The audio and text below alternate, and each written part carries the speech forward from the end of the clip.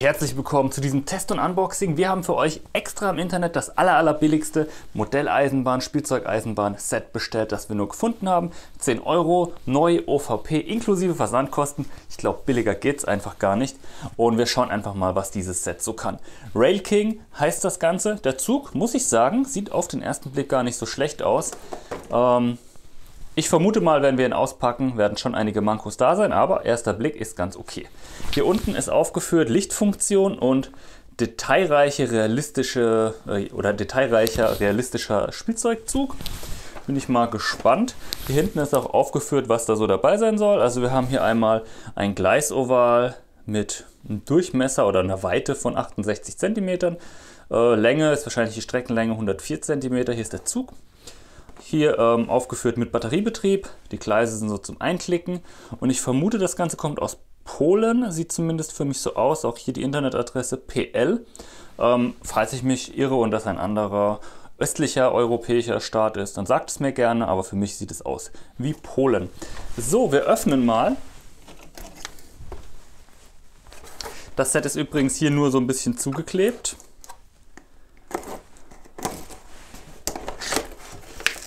Schauen wir mal, was uns hier gleich entgegenspringt. So, wir holen als erstes mal die Lok raus. Die sieht, ich finde, eigentlich ganz cool aus. Also für 10 Euro mit Licht habe ich tatsächlich schon schlechtere Züge gesehen. Hier sieht man natürlich, dass das schon sehr, sehr billig aufgedruckt ist, aber dennoch für 10 Euro finde ich es eigentlich ganz okay. Irgendwie sieht die Lok sehr tief aus, das finde ich ein bisschen komisch. Hoffe, das gibt keine Probleme beim Fahren, aber das werden wir gleich rausfinden. Hier dieser Tender und was eigentlich ganz cool ist, die Kohle ist hier lackiert. Man muss zugeben, in falschem Farbton. Also so silberne Kohle habe ich zumindest noch nie gesehen, aber sie ist immerhin lackiert. Viele hochwertigere Modelleisenbahnhersteller haben da nur so einen schwarzen Klumpen drin. Da finde ich das fast besser. Hier unten ist der Zug oder der Waggon ganz offen. Ist natürlich ja jetzt nicht so schön, aber okay. Hier die ähm, Kupplungen sind auch ja etwas speziell. So als hätte die einer irgendwie selber dran gebastelt mit einer Schraube. Aber gut, wir sehen ja gleich, wie es funktioniert. Ansonsten, ja, von der Optik, ich finde, das Lackierte da oben reißt so ein bisschen raus. Dann schauen wir hier mal weiter. Den einen Personenwagen. Der hat keine Scheiben. Gut, hoffe ich mal, dass es nicht regnet, wenn er fährt.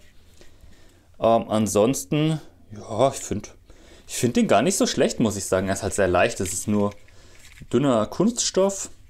Das hier ist ein bisschen schwergängig. Die Räder drehen sich auch schwergängig. Die ein bisschen besser.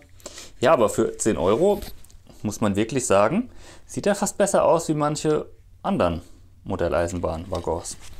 Muss man einfach mal so sagen.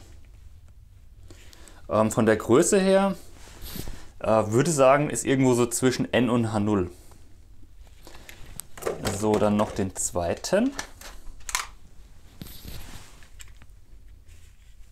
Ja, der sieht identisch aus, hier sehe ich keinen Unterschied. Auch der, finde ich, sieht ganz gut aus eigentlich. So, dann gehen wir mal zum Gleis. Das ist halt schon pures Plastik und auch so ein bisschen arg biegsam. Ähm, sieht auch nicht so gut aus. Hier sieht das ein bisschen aus wie so ein Kabelbinder. Vielleicht haben sie da alte Kabelbinder verarbeitet, keine Ahnung. Also das Gleis ist schon optisch total daneben. Ähm, wie es funktioniert, das sehen wir dann gleich, aber optisch auf jeden Fall ein Reinfall.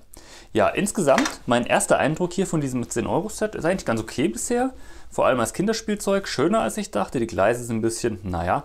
Und dann würde ich sagen, ich baue es mal auf und wir testen den Zug in Aktion. So Freunde, das Gleisoval ist aufgebaut. Wir schauen mal, wie es so aussieht. Hält eigentlich ganz gut. Was mir direkt aufgefallen ist, der Zug hat unten an den Rädern auch so kleine Rillen wie ein Zahnrad und damit ist er doch recht gut verbunden mit diesem Gleis. So ähnlich wie so eine Zahnradbahn, aber nicht ganz. Ähm, ja, optisch finde ich den echt ganz gut. Wir schauen mal von hinten nach vorne hier. Sieht ein bisschen aus wie so ein chinesischer Zug. Ja, ich finde, da kann man eigentlich gar nichts sagen für das Geld, für 10 Euro. Ja, jetzt die Quizfrage. Wer von euch hat eben gut aufgepasst? Wem ist aufgefallen, was gefehlt hat? Richtig, die Fernbedienung fehlt. Also wir haben ja kein Bedienelement. Das heißt, der Zug fährt einfach nur und man kann ihn quasi nicht richtig bespielen. Man kann ihn anmachen, ausmachen, mehr geht nicht. Wir haben hier diesen Anknopf, den betätigen wir jetzt mal. Und dann fährt der Zug los. Und dann fährt er und fährt. Und dann kann man eigentlich nichts mehr machen.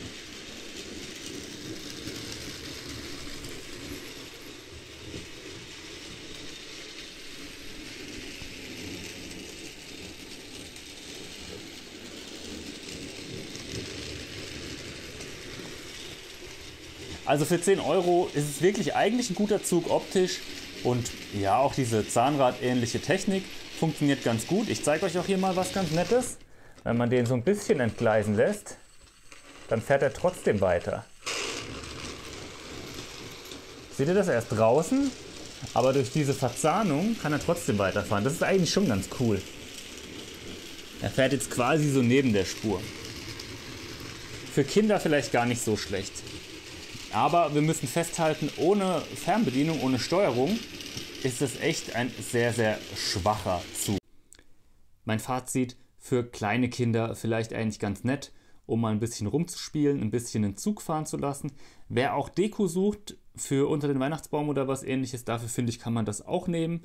Ansonsten Finger weg, ihr könnt diesen Zug nicht steuern, ihr könnt ihn nur an- und ausschalten.